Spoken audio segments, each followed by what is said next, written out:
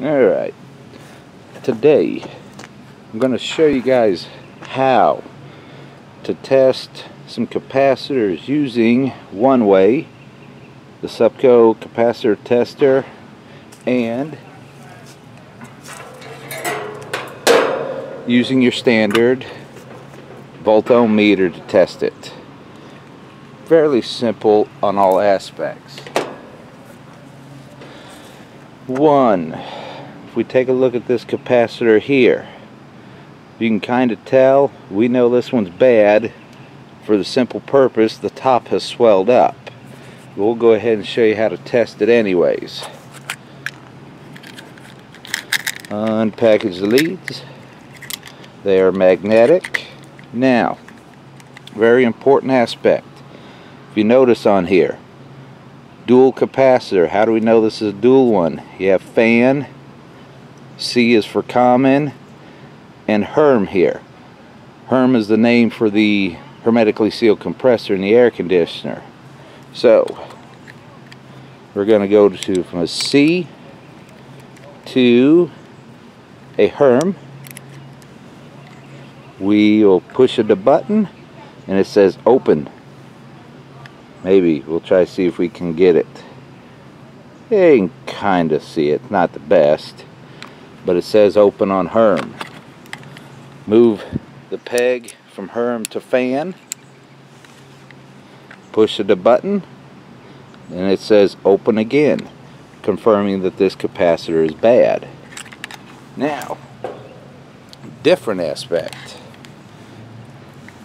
Once again, another dual capacitor. You have fan, common, and hermetic on here. Except the big one here is it's not fully labeled. If I remember correctly, the center one on here is common. So if we go common to this post,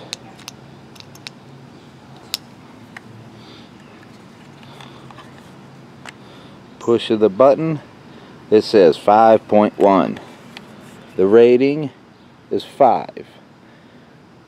We don't see any sort of a plus or minus on here, so we have to assume it's going to be 10%. So 10% of 5 should be 0.5. Yeah, that's okay. It's not too, too bad. Put it over here. Push the button what's it 45 46 it's rated 45 eh, was testing bad and that's testing good but that's how you would test that using your digital meter you want to put it on this magic setting here MFD which stands for microfarads go to ground type of thing. Yes, I know painted cases can insulate. We're going to go, what? Fan to common. And we have on here zero, which means open.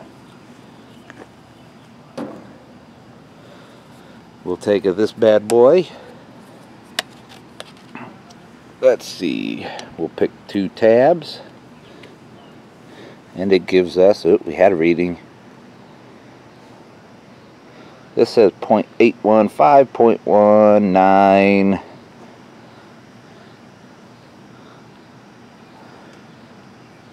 but that's all it'd be to test it ohming it out is a whole nother trick. You see the little horseshoe shape right there on the meter? That'd be ohms. You take your meter leads always. Keep it in mind always touch together confirm operation of your meter for ohming it out. Let's see. Orienting things. Orienting things. Here we go just like this. Uh-oh we got a OL Let's see. Maybe.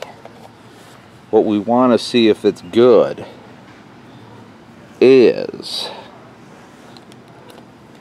do we get where it steadily where it goes down to zero and then goes up to OL or infinity that would signal good.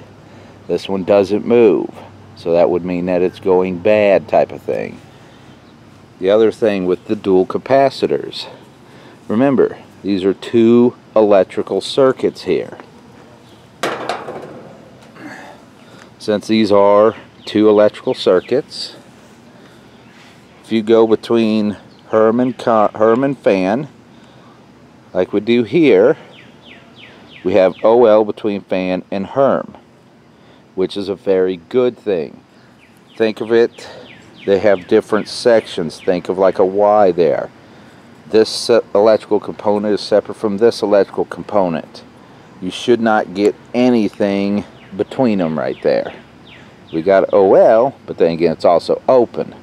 If this capacitor was shorted internally, you'd have some sort of zero reading or some type of ohms reading there. But that is a quick and basic way to test your capacitors with these two tools. Hope you guys enjoyed.